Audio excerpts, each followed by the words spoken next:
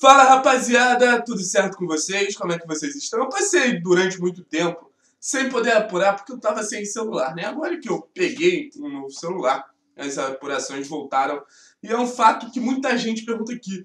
E o José Aldo e o Jaime Alvarado são dois jogadores que ainda não chegaram. A imprensa já comunicou esse acerto, mas foram dois jogadores que ainda não chegaram, não se apresentaram, tem a situação do Evandro para ser resolvida. Mas a gente vai falar especificamente hoje do José Aldo. O Rainer Alvarado imagino que ainda vai chegar no Brasil, ainda tem todos os trâmites de um jogador vindo do exterior. Mas eu apurei a situação do José Aldo com seu empresário Sandro Zardo. Conversei um pouco com ele ontem, um pouco hoje. A apuração é algo que tem que ir devagarzinho para a gente descobrir tudo.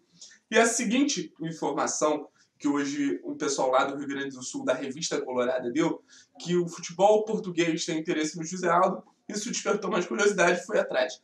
A questão é, o José Aldo é um jogador que tem contrato com o Inter até.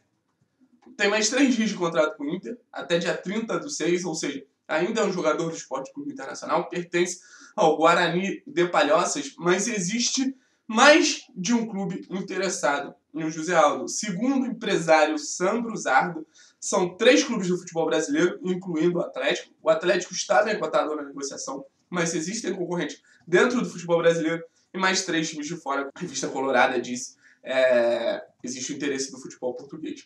Aí existem alguns pontos nessa negociação para a gente entender. Existe essa concorrência, como o Atlético vai lidar com essa concorrência. O Atlético busca jogadores exatamente desse perfil, jogadores jovens, jogadores com potencial, jogadores que estão numa situação em litígio com seus clubes, tentando sair dos clubes, tentando achar um novo clube, outros jogadores do mercado, para você entender mais ou menos a situação. Ferreirinha era uma situação parecida. Estava brigando com o Grêmio, o Atlético lá tentou trazer ele. Não é tão fácil, o Atlético está de olho na situação, mas é uma briga considerável entre o Ferreira e o Grêmio. O Fabinho, atacante de São Paulo, não foi uma notícia que saiu na mídia, mas eu descobri essa informação essa semana, falando que o empresário dele, outro jogador que está em litígio com o clube, está brigando com o clube, não se sente valorizado. O Atlético chegou a consultar o Fabinho, um jogador também de muito potencial, formado em Cotia, um jogador que ajudaria muito o ataque do Atlético, mas também deve para o futebol europeu. Então o Atlético busca jogadores desse perfil, que estão deixando seus clubes, que estão brigados com seus clubes.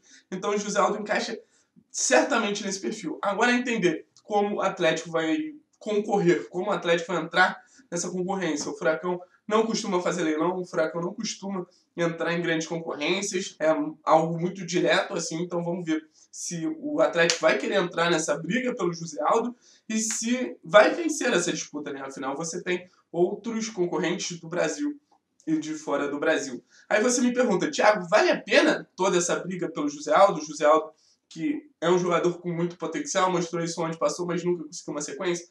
Cara, eu pensaria bem, assim, depende muito dos valores se o Atlético vai ter que gastar. Se o Atlético não gastar nada e conseguir trazer o jogador, perfeito. Acho que o Atlético hoje é até um lugar, um destino que o Guarani de Palhoças quer ver o José Aldo pelo potencial de venda que o clube vem mostrando nas últimas temporadas. Mas eu acho que se tiver que pagar um grande dinheiro para ter o jogador, não sei se vale a pena, porque é um jogador, como eu falei, de muito potencial. Quem vê as partidas do Aldo realmente se impressiona, mas não consegue ter sequência. Tanto que não ficou no Palmeiras, onde era a camisa 10 dessa geração que está aparecendo agora. Era para o José Aldo estar tá aparecendo agora, junto com outros jogadores, Gabriel Menino, Patrick de Paulo. Então, era o momento do José Aldo estar estourando junto com seus companheiros de geração ali.